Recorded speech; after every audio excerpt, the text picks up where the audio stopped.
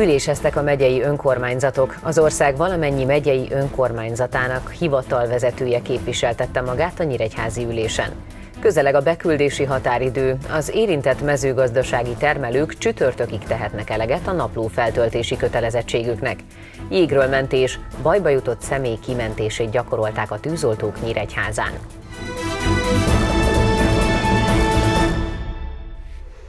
A terület és településfejlesztési operatív program forrásainak hatékony felhasználása jelentette a megyei önkormányzatok legfontosabb feladatát az elmúlt években, hangzott el a Megyei Önkormányzatok Országos Szövetsége főjegyzői kollégiumának ülésén. A Kölcsei Televízió híradóját látják, köszöntöm Önöket!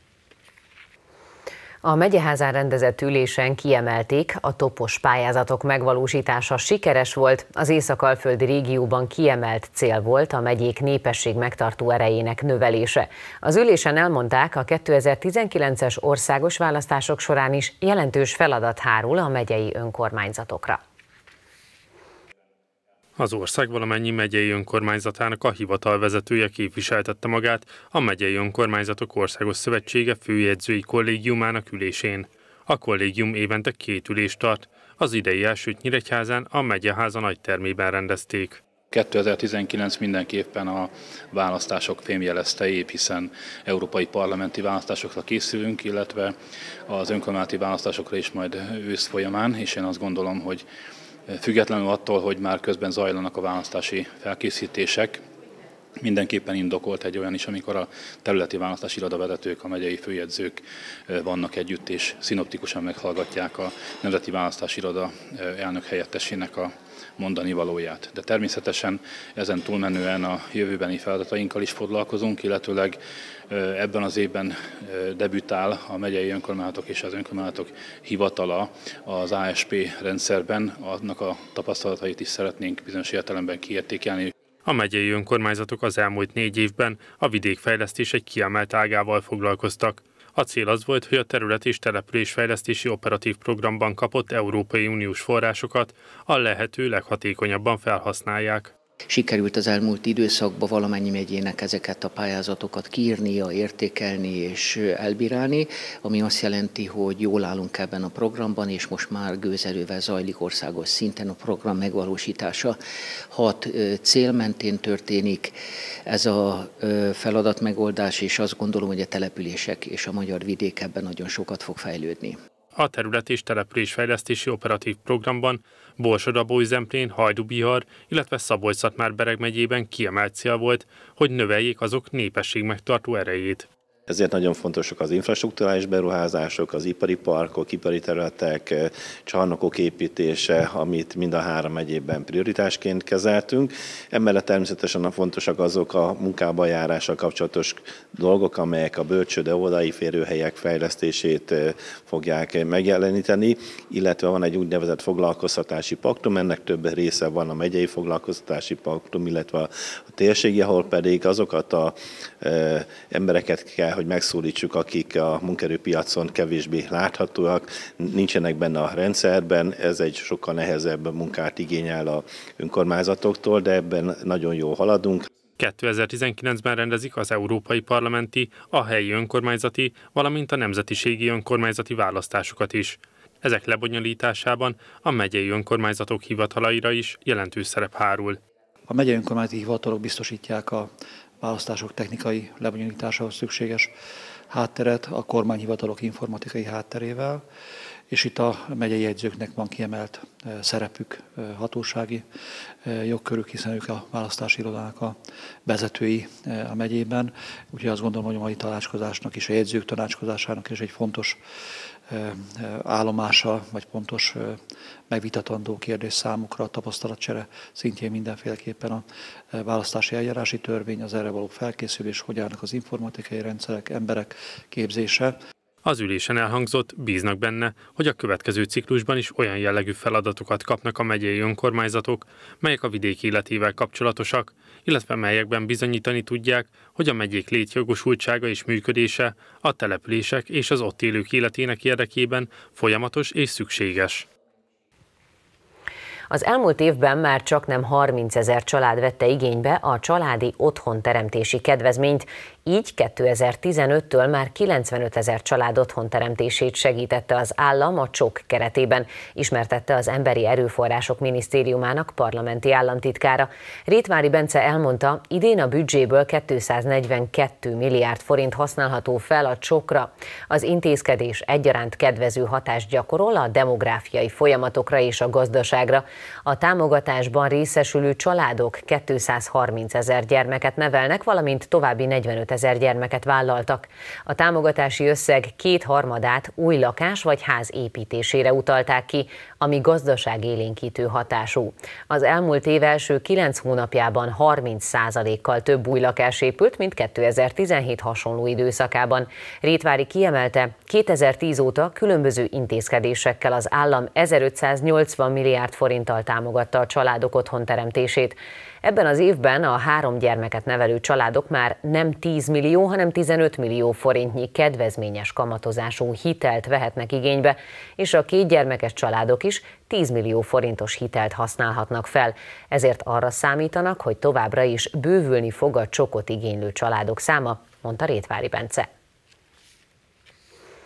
Kiemelkedő számú 119 ezer pályázat érkezett az Otthon Melege program háztartási gépcsere alprogramjának pályázatára, mondta az Inforádiónak az Innovációs és Technológiai Minisztérium fenntarthatóságért felelős államtitkára.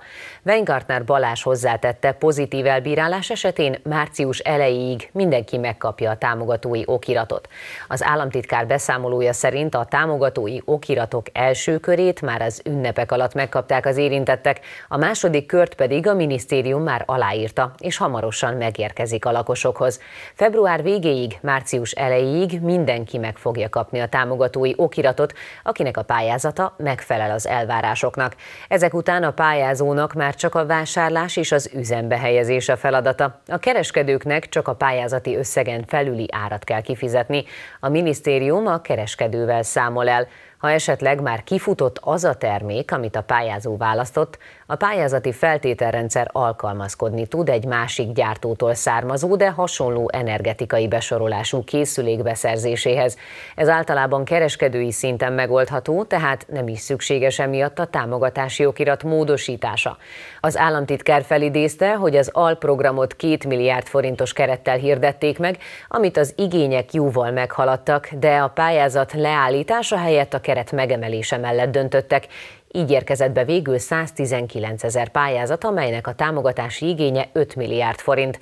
Az államtitkár az év elején azt is bejelentette, hogy mintegy 2 milliárd forintos keretösszeggel újraindul az Otthon Melegebb program konvektor csere alprogramja. Weingartner Balázs a minisztérium sajtótájékoztatóján közölte, hogy a pályázat a költségek 60%-át fedezheti, egy háztartás vagy magánszemély pedig legfeljebb 750 ezer forint támogatást kaphat.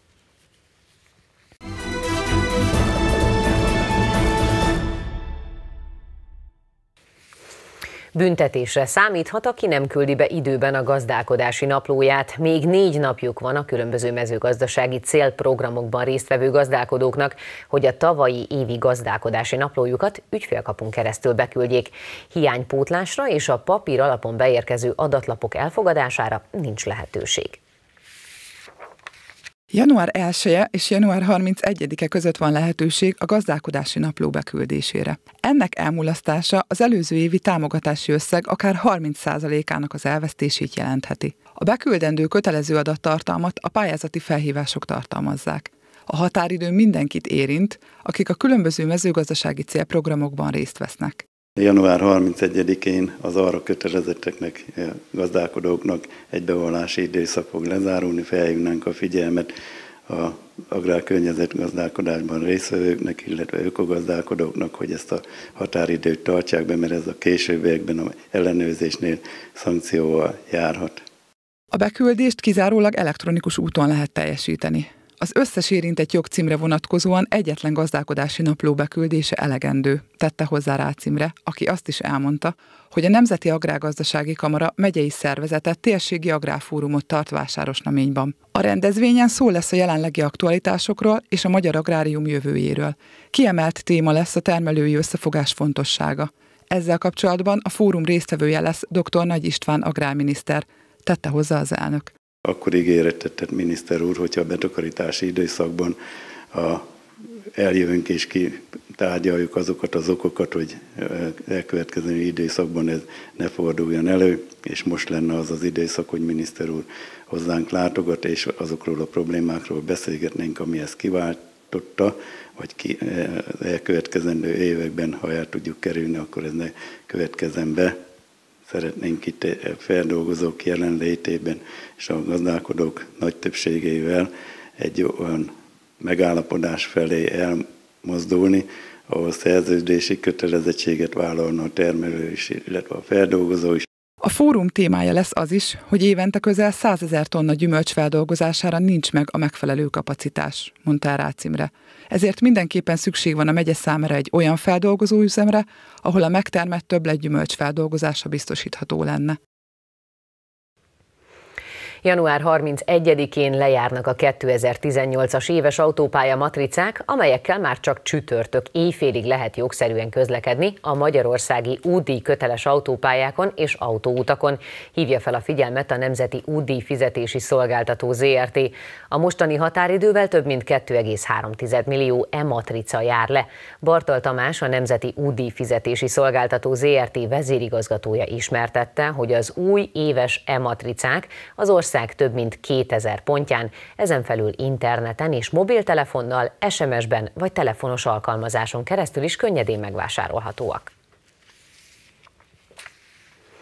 Évről évre csökken azon esetek száma, amikor jégről mentéshez riasztják a tűzoltókat. Nyílt vízfelületek jégfelületén azonban bármikor megtörténhet a baj, ezért a tűzoltók évente gyakorlaton elevenítik fel és sajátítják el a jégről mentés szakszerű és gyors mozdulatait. Hétfőn délelőtt a Nyíregyházi Hivatásos Tűzoltóparancsnokság szervezett jégről mentési gyakorlatot. Több eszközt is bevetettek, hogy bajba jutott társukat épségben kiemeljék a bújtosi túljegén vágott légből a nyíregyházi tűzoltók, akik éves jégről mentési gyakorlatokat hajtották végre.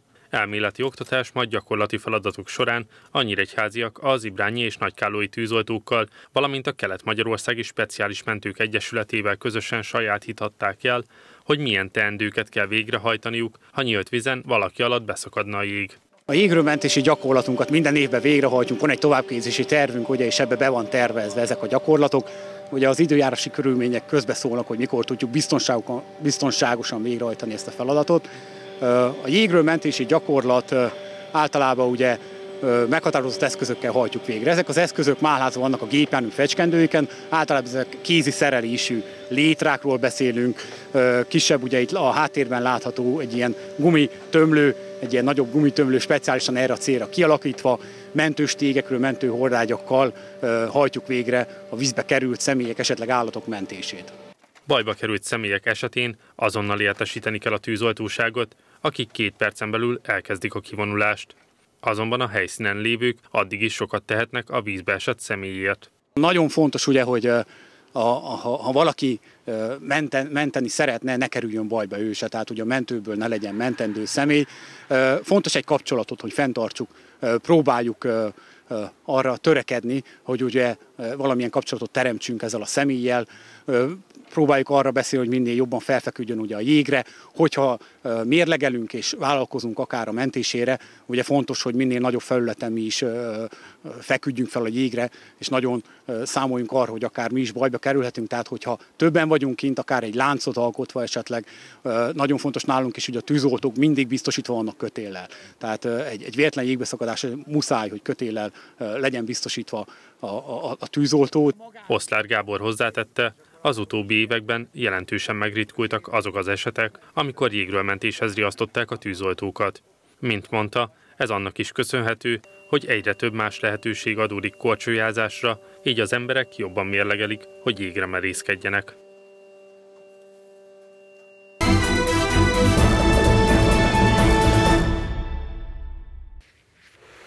Nyírgyulai sikerrel zárult a T-Fork Transkupa vasárnap. A hagyományteremtő céllal szervezett torna közönség siker lett, összesen 1400 néző szurkolt a csapatoknak. A szombati megnyitó után a Magyar Parlament labdarúgó válogatottja is pályára lépett a Szabolcs-Szatmár-Bereg megyei közéleti személyiségek csapata ellen. Három napos teremlabdarúgó kupát szervezett az Ibrányi T-Fork Trans Kft. a Nyíregyházi Kontinentál arénában múlt héten. A szombati megnyitót egy gálamérkőzés követte, ahol a Magyar Parlament labdarúgó válogatottja a szabolcs már Bereg megyei közéleti személyiségek csapata ellen lépett pályára. Sokan vagyunk ebben az országban, akik szeretjük a labdarúgást, szeretjük a sportot. Nem csak a labdarúgás, hanem akár bármi és más sportágokról is van szó, és igyekszünk is gyakorolni. Úgyhogy én magam nevében mondhatom, hogy az ember örömmel is tölti amikor egy ilyen típusú meghívást kap, mert közben a, miközben a munkáját végzi, a közben az egészségére is odafigyelhet, és jó hangulatban. Egyébként olyan emberekkel, akikkel máskor különböző körülmények között találkozunk, jó hangulatban el tudunk tölteni egy délután. Nagyon fontos, hogy sok ilyen kezdeményezés legyen, mint ez a sportkupa. Minden ilyen kezdeményezés színesíti, gazdagítja a megyei sportéletet. A hazai csapatot a megyei diák Sport és Szabadidő Egyesület elnöke Baracsi Endre is erősítette. Úgy gondolom, hogy a színvonalát is megadja egy ilyen teremlabdarúgó bajnokságnak az, hogy a magyar parlament válogatottja és a megyei közleti szereplők időt szakítottak arra, hogy itt legyenek. Azt hiszem, hogy ez nagyon komoly eh, jelentőséggel bír, és ez nem csak erre a teremtornára vonatkozik, hanem úgy gondolom, hogy a megye teljes sport életére. Mert valóban a közelben szereplők odafigyelnek arra, hogy adott településeken, amelyeket esetleg vezetnek, vagy mondjuk a megye életében, valóban jelentősége és szerepe legyen a sportnak. És ebbe természetesen szervesen beletartozik a labdarúgás is, amely az egyik legnépszerűbb sport Magyarországon, nem nem véletlenül. Úgyhogy bízunk benne, hogy ezzel is sikerül egy kicsit népszerítenünk a sportolást, és az meg egy külön bónusz, hogy mindenki nagyon jól érzi magát. A T-Fork Trans kispályás teremlabdarúgó tornát a névadó azért is szervezte, mert cégük egyik csapata tavaly megnyerte a szuperkupát Nyíregyházán. Bár a tornát hagyományteremtő célral rendezték, de az 1400 fős nézőközönség és a pályára lépett csapatok száma alapján biztos a folytatás jövőre. Első alkalommal kerül megrendezésre itt a Continental Arénába a T4 Trans Kupa országos teremlabdarúgó torna, és egy fantasztikus mezőny jött össze, négy megyéből érkeztek hozzánk csapatok, a Nyíregyházi bajnokságból is 16 csapat itt van, de még 14 településről, a szabolcs bereg megye különböző helységéből is jöttek, és óriási szurkolótáborok biztatják a csapatokat. Vasárnap Nyírgyulai cigán meccsel zárult a torna, ahol 5-0-ra győzött a nyírgyulai csapat. A torna összdíjazása fél millió forint volt, a legjobb csapat pedig a vándorserleget is hazavitte. 33 intézményből mintegy 155 tanuló vett részt a Máté Szalkán rendezett korcsoportos úszó diák olimpia Szabolcs-Szatmár-Bereg megyei döntőjén. A győztesek márciusban Győrben mérettethetik meg magukat az úszó diák olimpia országos döntőjén, melyen a 19 megye legjobbjai vesznek majd részt. Többek között gyors úszásban álltak rajthoz a versenyzők Máté Szalkán. A diákok különböző korcsoportban mintegy 250 számban indultak, a Szabolcs-Szatmár-Bereg megyei úszó diákolimpia döntőjén. Az iskolás diákok egyéniben és csapatversenyben is nevezhettek az idei megmérettetésre. A harmadik, negyedik, illetve az ötödik, hatodik korcsoportos B-kategóriás versenyzők úsznak a megyei döntőben, akik a saját intézményükben a legjobban szerepeltek, azok a gyerekek vannak most itt.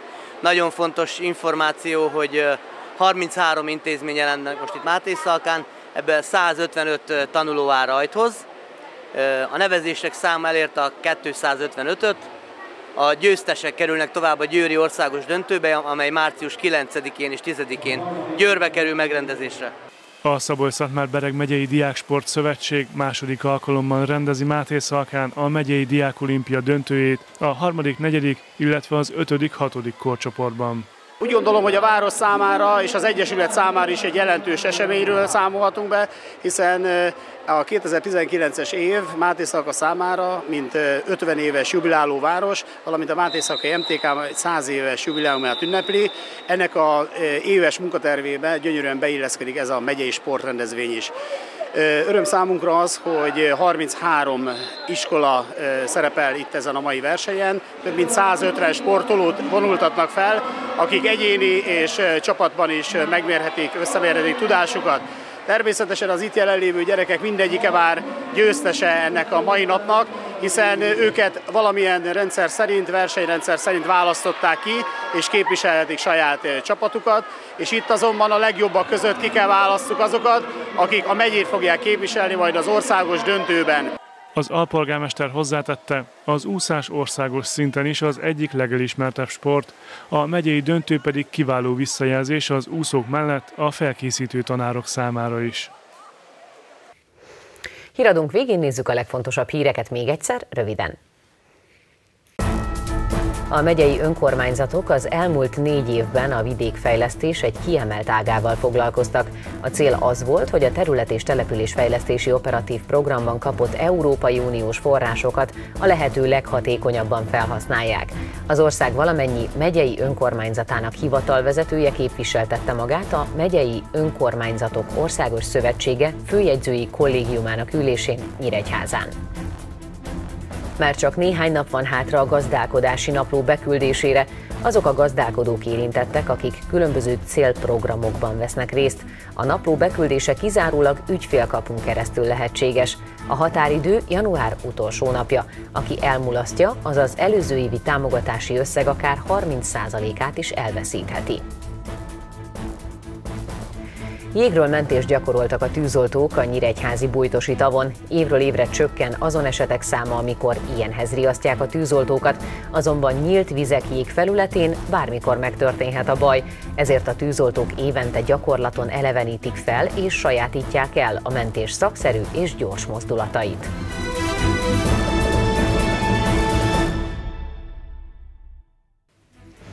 Önök a Kölcsei Televízió híradóját látták január 28-án hétfőn. Friss hírekkel holnap este várjuk majd Önöket. Tudósításainkat addig is elérik a honlapunkon. Én munkatársaim nevében is köszönöm a figyelmüket, a viszontlátásra!